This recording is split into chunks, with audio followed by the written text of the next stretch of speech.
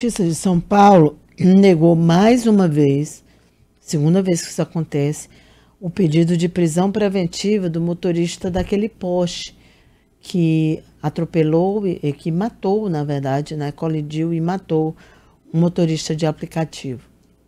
Cíntia, mais um caso que gera consternação e revolta, porque a Justiça de São Paulo negou mais uma vez o pedido de prisão preventiva feito pela Polícia Civil e pelo Ministério Público para o Fernando Sachi de Andrade Filho, o motorista do poste que causou o acidente com morte no dia 31 de março. Essa decisão foi dada é, pelo juiz Roberto Zanicelli Sintra, da primeira vara do júri, que impôs, no entanto, algumas medidas cautelares ao empresário. O Fernando bateu o carro de luxo na traseira do Sandeiro de Ornaldo da Silva Viana.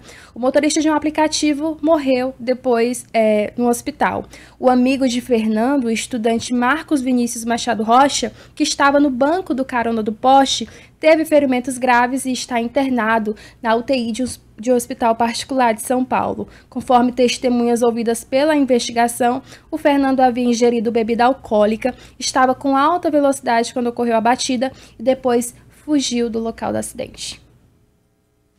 Que horror, né? Duas vezes negando essa prisão realmente é demais. Tá certo, Ananda. Muito obrigada.